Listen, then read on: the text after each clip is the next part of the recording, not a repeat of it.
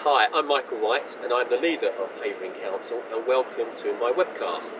This evening we have a full council meeting and we'll be discussing the budget amongst other things and also welcoming our new Deputy Lieutenant to the uh, borough. Welcome. And you're going to be talking to us about your roles and responsibilities over the forthcoming year. Yes, I will.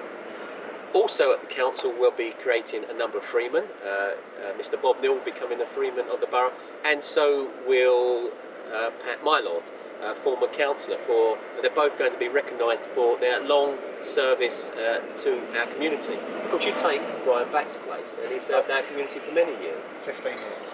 Yes, yeah, it's a, it's a hard act to follow. It certainly is. Big shoes to step into. At the council meeting, we will be discussing, of course, our £15 million cuts proposal, amongst other things, as well as looking at emotion around living. So, if you want to see more about that, then you can look at the webcast of the council meeting on the council's website. Anything else to add before we sign off? No, I think that's, uh, that's covered it all. Thank you very much, and uh, thanks for watching.